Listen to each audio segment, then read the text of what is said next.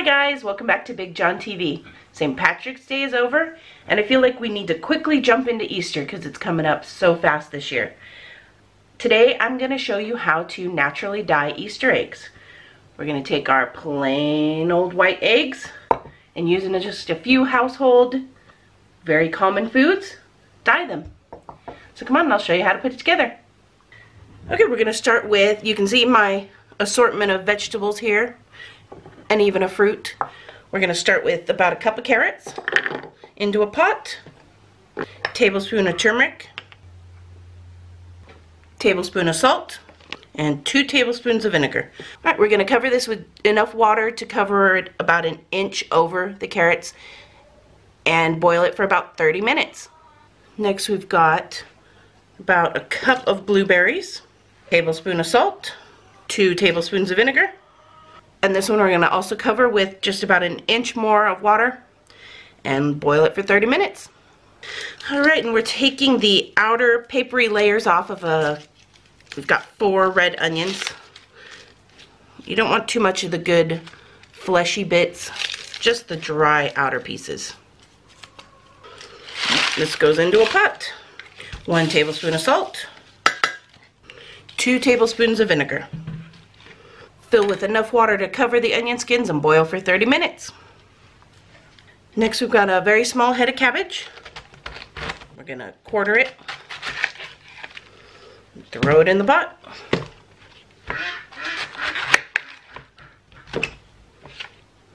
One tablespoon salt. Two tablespoons of vinegar. We've got the skins of four yellow onions. One tablespoon of salt two tablespoons of vinegar. Three beets in the pot.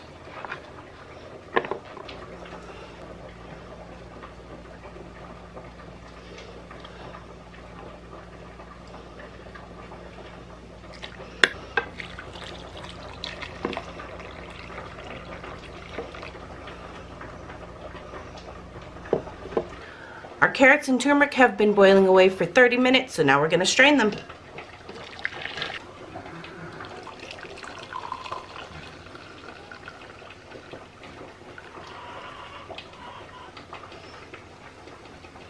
We'll set this aside to cool.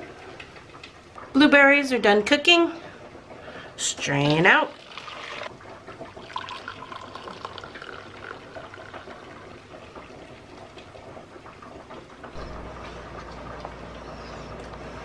This was our red onion skin.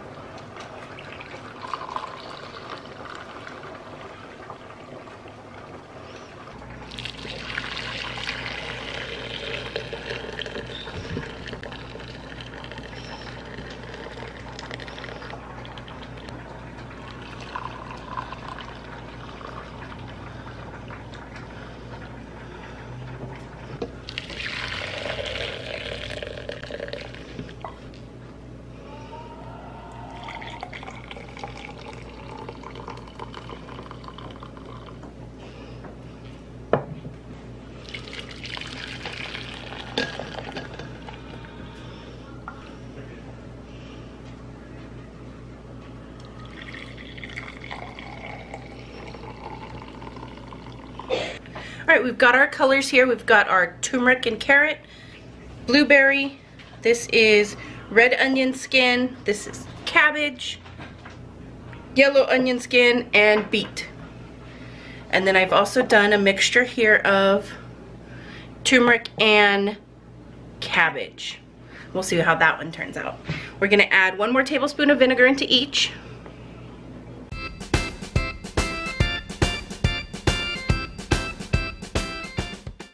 Okay, which one do you want to put one in, Mad? I want to do blueberry. Okay, so take this one and drop it in there very gently. Don't let it splash, okay? Okay, do that. There you go. Don't dye your fingers. Sweet. All right, I'm gonna put one in. leave the spoon? Leave the spoon in it to get it out later. I'm gonna do one in the yellow onion skin. You pick another one. What color do you think that the yellow onion skin's gonna turn it? Mm, maybe an orangey, yellow, red color. Yeah, Like a flame. guess. All right, I'm gonna do. Oh, I want to do the mixture here of the turmeric and cabbage. Let me do another one. Yep. Which one do you want? I'm gonna do cabbage. Okay. Cabbage is really pretty. They all seem like they're kind of reddish colors. Oh, dang it, I dyed my fingers. All right, I'm gonna put one in beets. Beet, beet, beet, beet, beet, beet, beet, beet, beet. You pick another one. It's between red onion skin and carrot and turmeric. I think I'm gonna do red onion skin. Okay.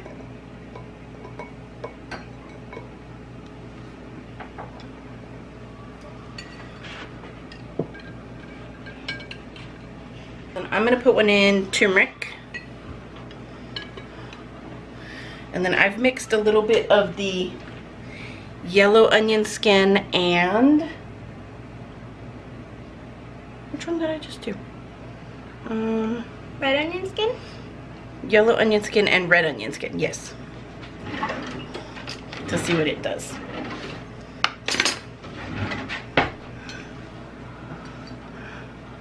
All right, there we go. The longer we leave these in, the darker the colors will turn. So let's let them go.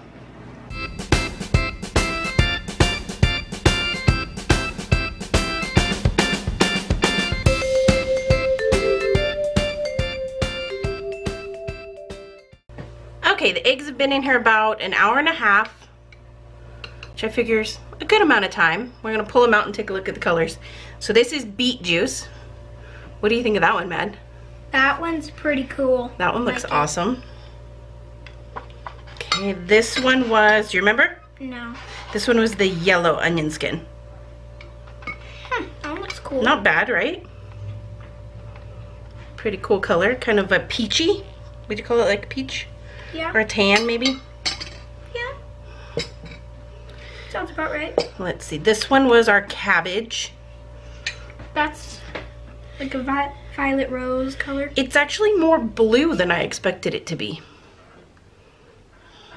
That was cabbage? Yeah, Huh. red cabbage, Makes no sense because it's like purple blue. right? All right, and this one was our red onion skins.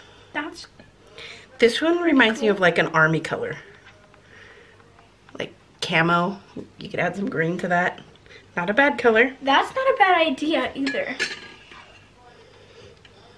I think you just got yourself an idea. All right, and this is blueberry.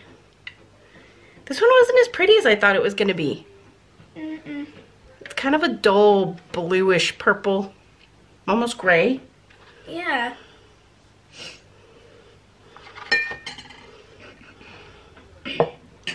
Then we've got, this is the turmeric and carrot.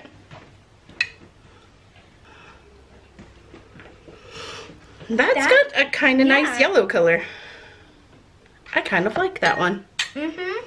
And then this was my weird mix of cabbage and turmeric. I was hoping it would turn kind of greenish. And it did, sort of, ish. I don't know, what color would you call that, Maddie? Blue, green, turquoise. It does have like an undertone of like aquamarine. Greenish. That's what it is. It's aquamarine. And then this one I mixed. This was, You know what we should have done? We should have mixed all the colors. oh, we should have. This was onion skin and beet. No, onion skin and cabbage. Which is another interesting brown color. Those are all really cool colors. Alright, let's slide this up here. Overall, I think I'm the impressed. colors are kind of cool for just being made from fruits and vegetables. They're not the easiest way to dye eggs for sure. I'm going to let them dry off and I've seen that if you rub them with some oil it'll make them shiny. So let's do that. Our eggs are dry and the colors have changed a little bit even now that they've dried. Yep. Um, what's your favorite, Maddie? These two, cabbage and beets. And they look nice together. I like that. Yep. I kind of like the green, the cabbage and the turmeric together. Yeah, those that one's pretty. Yeah, the mixing of the colors started to get kind of interesting. Overall, this was a fun experiment, but not as effective as just going and buying the dye. Right? Yep. It was a lot more work. But let me know if you guys try this at home. I'd be interested to see what colors other people come up with. Because even after looking online, these aren't the same colors other people got. So I don't know. I guess it all depends on how you mix your ingredients and how long you boil things. But thanks for checking it out. I hope you guys enjoyed this fun little video. Catch you next time.